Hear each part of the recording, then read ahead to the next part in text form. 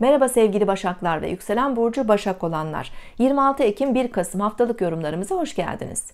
Sevgili Başaklar, güçlü bir haftadayız. Güneş Akrep burcunda ilerliyor ve bu hafta dolunay meydana gelecek. Hafta boyunca ayın ışığı büyürken e, üzerimizdeki bedensel, duygusal e, etkileri de artacak. Hafta boyunca ay balık, koç ve boğa burçlarında ilerleyecek. İlişkileriniz, paylaşımlarınız, e, geleceğe dair plan programlarınız bu hafta çok yoğun olabilir. Ve gezegeniniz Merkür 28 Ekim'den itibaren artık Akrep Burcu'ndaki gerilemesini tamamlıyor. Terazi Burcu'nda gerilemeye başlayacak. 3 Kasım'a kadar Merkür Terazi Burcu'nda gerileyecek. Ee, özellikle birkaç gün yani 3 Kasım'a kadar olan süreç para konularında, finans konularında bazı gözden geçirmeler yapmanıza neden olabilir. Bu dönemde harcamalarınıza biraz dikkat edin. Mümkünse Merkür düzelene kadar önemli bir harcama yapmamaya çalışın. Ya da para konularında vereceğiniz kararları biraz daha erteleyin. Ee, çok değil az kaldı 3 Kasım'dan itibaren Merkür düzelecek ve para evinizde ileri harekete geçecek. Kuşkusuz bu sizin için çok daha olumlu olacak. Üstelik 28 Ekim'le beraber küçük şansı temsil eden Venüs terazi burcuna geçiyor.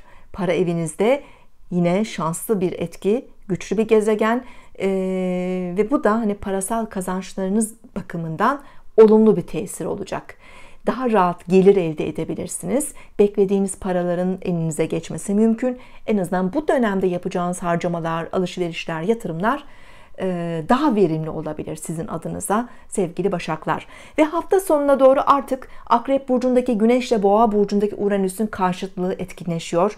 31 Ekim'de bu açı netleşecek ve yine aynı gün 31 Ekim'de Boğa burcunun 8 derecesinde dolunay meydana geliyor. Uranüs etkili bir dolunay, güçlü bir dolunay, stresli bir dolunay, sürprizleri de getirebilecek bir dolunay. Sizin 9. evinizde meydana gelecek sevgili Başaklar. Aslında sizin gibi toprak elementinde olduğu için açısı olarak size olumlu bir tesirde. Uranüs'ün de tesiri size olumlu aslında. Ee, belki çoğunuz için güzel sürprizler de getirebilir bu dolunay. 9. ev aslında yeni fikirler, yeni düşünceler, hayata bakışınızda, anlam arayışınızda belki önemli farkındalıklar getirebilir. Biraz daha özgürleştiğiniz bir dönemdesiniz. Cesaretinizin arttığı bir dönemdesiniz. Akademik konular, yurt dışı ile ilgili her türlü konu. Bu bir seyahat olabilir. Yurt dışında yaşama planları olabilir, bir iş bağlantısı olabilir.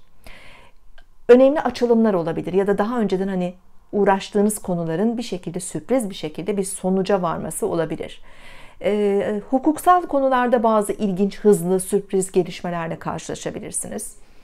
Sizin yakınlarınız, aileniz ya da eşinizin yakınları, ailesi, kardeşler, e, akrabalar şu dönemde onlarla da ilgili temasların artması veya bu e, akraba ilişkilerinizle de ilgili e, belki sizi şaşırtacak bazı hızlı gelişmelerin olması da mümkün görünüyor sevgili Başaklar.